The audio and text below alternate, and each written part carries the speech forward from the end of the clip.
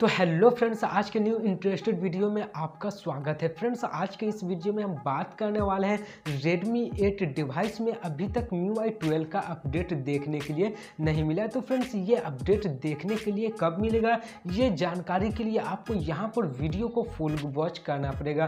तो friends video को start करने से पहले अगर आप चैनल को पहली बार विज़िट कर रहे हैं तो सब्सक्राइब करके बेल आइकन को ज़रूर प्रेस कर देना। तो फ्रेंड्स चलिए वीडियो को स्टार्ट करते हैं।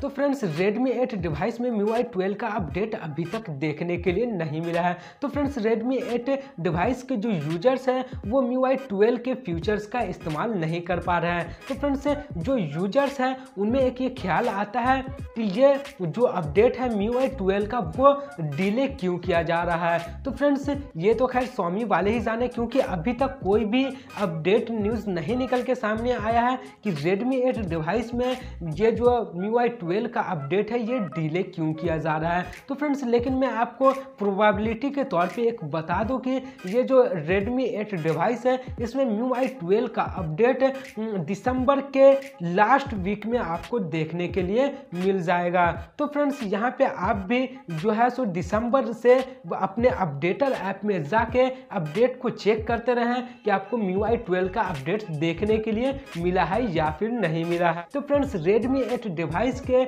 MIUI 12 का आज के लिए अपडेट न्यूज़ इतना ही था। तो फ्रेंड्स, जैसे ही यहाँ Redmi 8 डिवाइस में MIUI 12 से रिलेटेड कोई भी अगर न्यूज़ आता है तो सबसे पहले आपको ये चैनल पे देखने के लिए मिल जाएगा। तो फ्रेंड्स, उसके लिए यहाँ पे आपको चैनल को सब्सक्राइब करके बेल आइकन को ज़रूर प्रेस कर लें। अगर फ्रेंड्स, ये वीडियो पसंद आया होगा तो वीडियो को एक लाइक ज़रूर कर देना। और हाँ इस वीडियो के बारे में आपका क्या ओपिनियन है, नीचे कॉमेंट सेक्शन में ज़रूर बताना। तो फ्रेंड्स, फिर मिलते हैं नेक्स्ट वीडियो में।